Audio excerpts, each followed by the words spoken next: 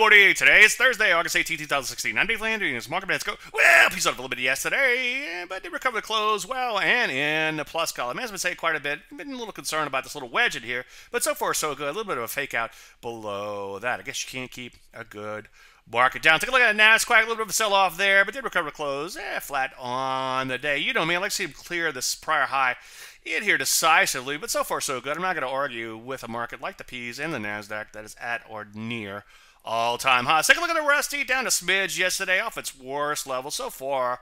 In general, it has worked its way into this overhead supply. So, so far so good there. You know me though. I like to see it take this out and not look back. In markets, there's always something to worry about. A couple areas losing steam in here. Health services and REITs. We could see some shorts setting up here soon. But for the most part, most areas looking pretty darn good. I still like metals and mining in here, even though they lost a little steam as of late. Just make sure you wait for entries on positions there. Also, still like IPOs. Hey, chart show later today. I'm going to flesh all this out in a lot more detail. Hope to see you there. Any questions? As usual, Dave, DaveLandry.com. I'm Dave Landry, and you start Market Minute.